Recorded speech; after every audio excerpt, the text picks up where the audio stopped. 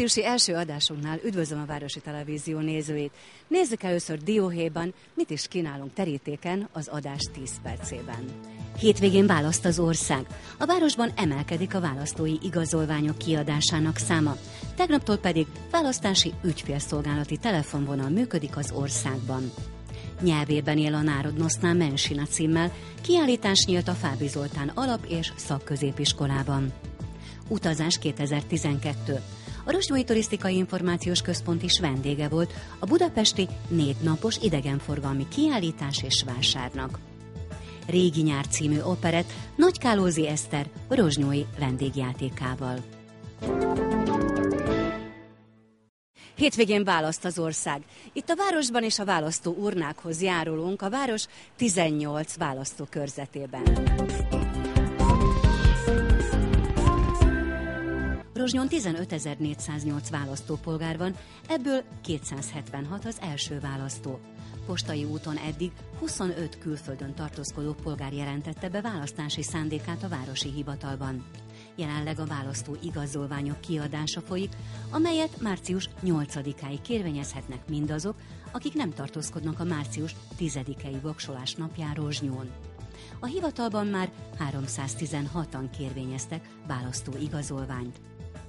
A szavazóhelységek reggel 7-től este 10 óráig lesznek nyitva. A belügyminisztérium telefonos ügyfélszolgálatot is biztosított a képernyőn látható telefonszámon. Akinek kérdése vagy bejelentése van a választásokkal kapcsolatban, naponta hívhatják délelőtt 9-től fél hatig, ám a választás napján reggel 7-től este 10 óráig működik a választói telefonvonal.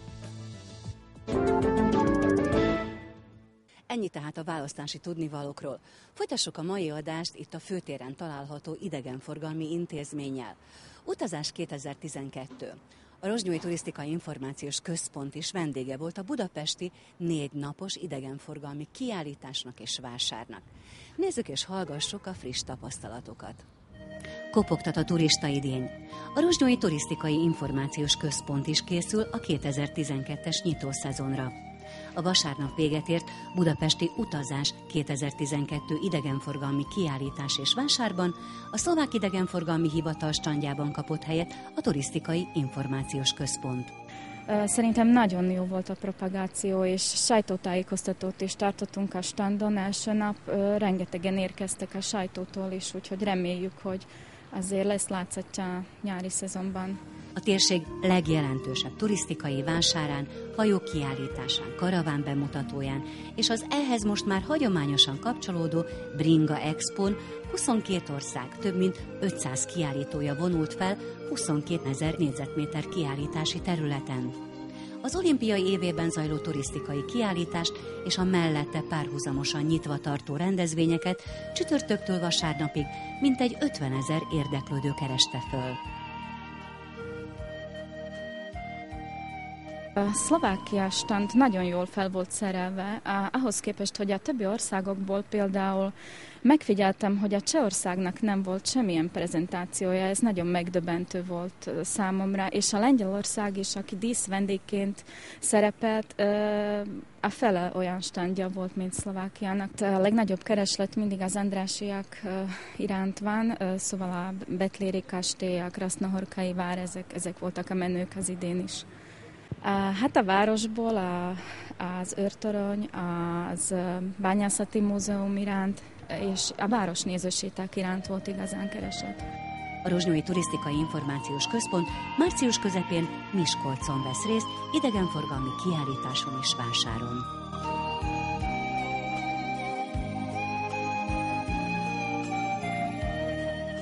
A Drázus patakon túli oktatási intézménybe látogatunk a következő riport kapcsán. Nyelvében él a Národnosztán Mensina, vagy kisebbségi nyelvhasználat története Dél-Szlovákiában címmel kiállítás nyílt a Fábri Zoltán alap- és szakközépiskolában. A tárlatot az iskola mellett működő szülői munkaközösség és a Somorjai Fórum Kisebbségkutató Intézet szervezte.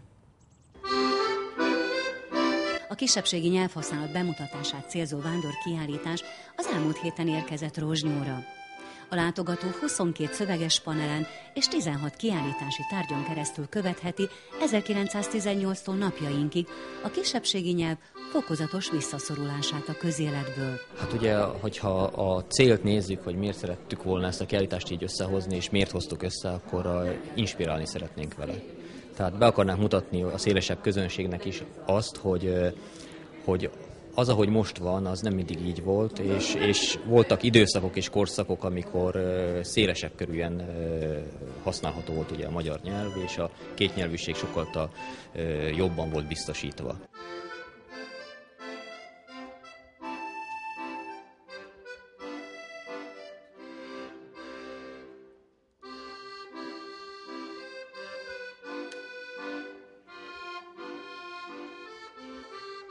Hát az anyának a nagyobb része az, első csehszlovák köztársaság időszakát mutatja be, és azért röviden egy-egy táblában, táblán bemutatjuk a, ugye, a tiszói időszakot, és a utána való szocialista korszakot, és a rendszerváltás óta eltelt időszakot is. Rozsnyon 20% fölötti a magyarok aránya. Utcanevek közintézmények táblái kétnyelvűek, ám vállalkozások nevei vagy hirdetések alig tükrözik a kétnyelvűséget. De szerintem élhetne jobban, ezt számolom, hogy a hivatalokban, üzletekben is, és nap mint nap azért az ember tapasztalja, hogy a nyelvi kifejezésünk és a megnyilvánulásunk bizony hivatalokban, vagy pedig még az utcán, üzletekben is megfordul az emberben néha az a gondolat, hogy nem előre megyünk 21. században, hanem talán nem is vissza, hanem talán a, még azt sem mondhatom, hogy a középkorban. A kiállítás többnyelvű dokumentumai jól példázzák még mindig a legnagyobb nemzetiségnek számító magyarság viharos sorsfordulóit napjainkig. A nyelvében él a Národnosztá Mensina című kiállítás március 14-ig látható a Fábri Zoltán alap- és szakközépiskola aulájában.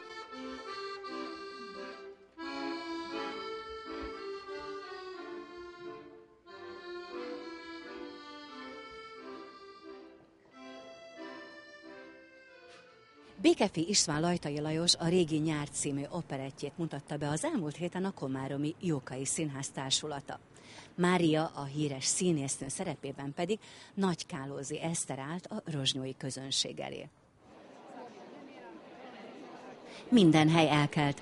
A Kulturális és Kereskedelmi Központ színháztermét utolsó székig elfoglalta a Régi Nyár című operett hálás nézőserege.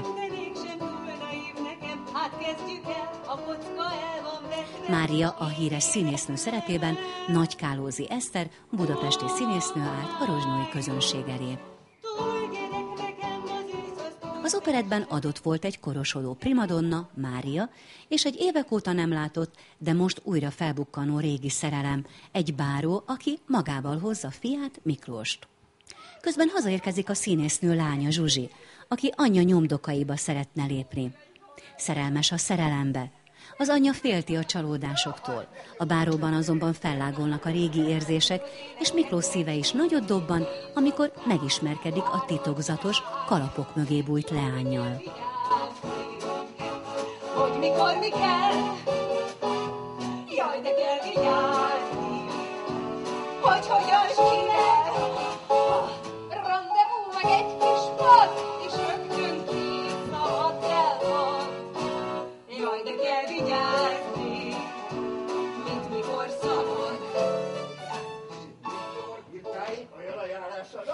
alakult ki egy közel két órás fergeteges előadás, közben pedig olyan slágerek csendültek fel élőzenekar kíséretével, mint Hol van az a nyár, vagy Legyen a horvát kertbe Budán címmel.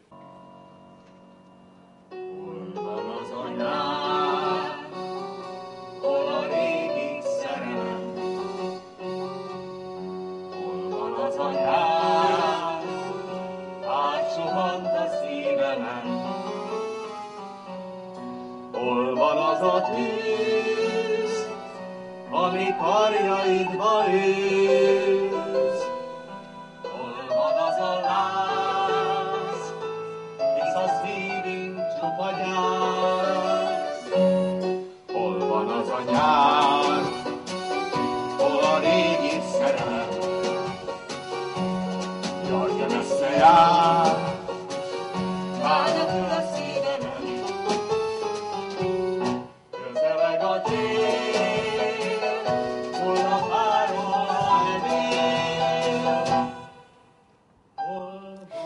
Nagykálózi Eszter mellett Tar Renátát, Tóth Tibort, Major Bálintot, Fabó Tibor Jászai Mari díjas színészt, Holocsi Krisztinát, Hajdú Lászlót és Bandor Évát láthatta a közönség.